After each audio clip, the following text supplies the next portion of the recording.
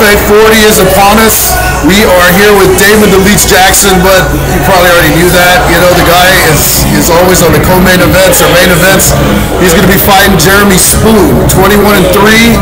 So Damon, it's it's a lightweight or featherweight. Yeah, no, no, that's what I mean. You you pick either lightweight or featherweight. It doesn't matter. Yeah, I mean, I walk around pretty heavy for featherweight, but you know, I'm walking around about 172.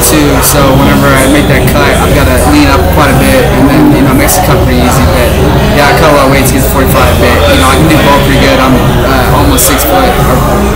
5'11", three fourths. So you know, basically six foot. So going to 45, it's a pretty big cut, that um, you know, I feel I feel the big advantage there.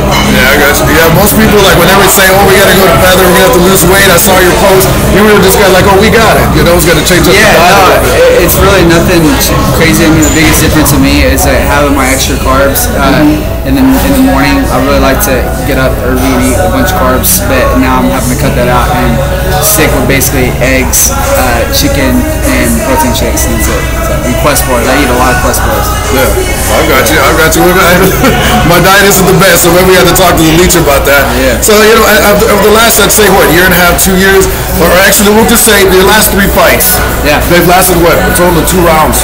Uh, I mean, Maybe- I, maybe I've- total. Yeah, I've uh, you know been very fortunate not taking any damage in these fights and um, come out there and do my game plan. You know, to get people to the ground and and uh, put stuff on.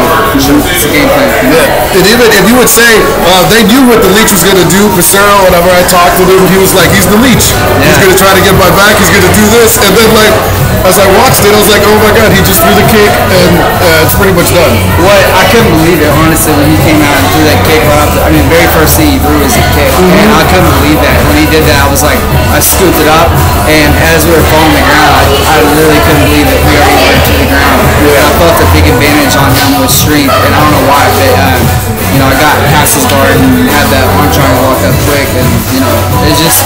I I think maybe when you have a strong uh, discipline, like you know, I have strong background in wrestling, jiu-jitsu, and I think that people know that, that it's still messing with you mentally knowing like exactly what I'm going to do. So you know, I haven't changed it up what I do every time. You know, anytime I get a chance, I'm going to take someone's back. I'm to get a sub anytime I can. No, exactly, exactly. I think if you would call it like calling a shot, uh, there it was. When most of us saw the kick, we're like, oh no, oh, here it is, and it's pretty much done. Uh, it, didn't last long. Yeah, it was crazy. Yeah, because you know, Pissarro, uh, as soon as you got the, the choke, it was it was pretty much lights out. All you had to do was just get your leg over. Yeah, I locked it up on the on the far side, and then when I jump sides, I do that, and it uh, it makes it jumping sides. I mean, people don't think it's a, a danger until you jump sides, but once I jump, it's already like locked in pretty good. So. Yeah, understood, understood. Oh, look, so we got Miles in the back. That's, that's always great. so, you know, that, yeah. So over the last two years, you know, you're not the type of guy that comes out and says, hey, you know, I've been winning a lot. What's going on? This and that, this and that. But you've been pretty dominant over the last year and a half, two years. Uh, is, is, you know, what do they say?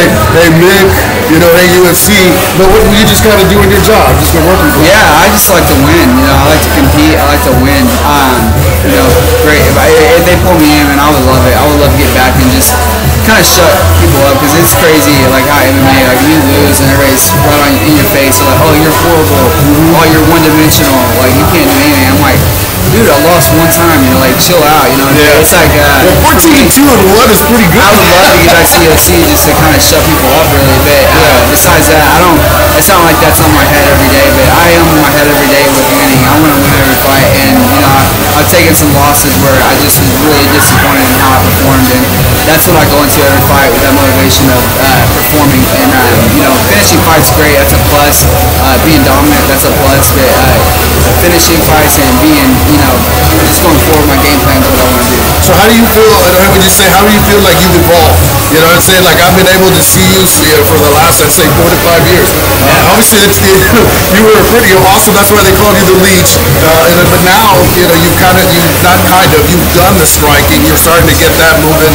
Yeah. Uh, so how, how do you think you evolved? You know, not, not just coming out of my mouth. Um, yeah, I think uh, yeah, I've definitely involved in my boxing, but I haven't. Um, I'm not gonna go out there and be that guy though that just there trades back and forth and gets cut up many times whenever there's a takedown right there. Like uh, you know, Gaethje, man, I love to do that. That that was the dumbest game plan him before. Yeah, uh, you know, he was piecing him up. He could have taken him down so many times, and he didn't even try to go for a takedown. And he's uh, excellent wrestler, and uh, gonna be that guy for sure. So you know if that's what it takes to like get people amped up and happy all the time. I'm not that guy. I'm not Yeah. gonna. I'm not gonna get my You're like face that cut off. blocky guy that's just like busting up. I mean, I want to win. I want to finish people. I want to win. I want to take the least amount of damage. And uh, if that's exciting, to take someone down and slow and finish them, then that's great. And I want to finish people, but I'm not going to be that that uh, that guy. It's not. It's not a long career, man. Yeah. That's uh, that's tough, man. I got a going on. That's tough. That is definitely tough. Yeah. Okay, so like you got Jeremy Spoon at 21 and 3. He's an Oklahoma fighter.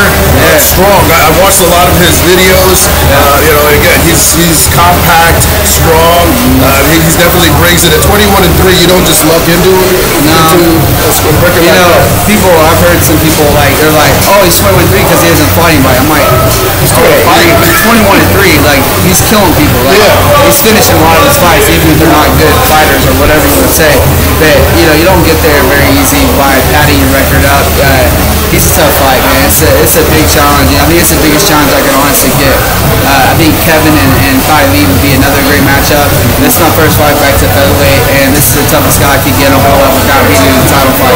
And uh, you know, I'm excited about it, man. This dude's gonna be coming in ready to go, and uh, I'll be ready too. Yeah, exactly. This was 21 and 3. I did see that uh, he was he was going for a title shot. He lost by decision. It wasn't like he you know 20 you know, It was like right there they to 22 and 2. And it was horrible conditions too, because like he was fighting, slipping, right? And it was an outdoor fight. It looked Yeah. like, and uh, it was crazy because it was an outdoor fight, and both like falling down. Yes, and I'm like, well, I can't really judge a guy off this, but uh, you know, I got to see some of his other video and other fights, and you know, the guy is scrappy. He's he can't, he comes in every fight, he's ready to go. So I know that this is gonna be no different. He's gonna want to test himself with me, and you know, I'll be ready, man. I'm ready. Oh God! Wow, we know you are. We know you are. LFA 40 at the Bomb Factory.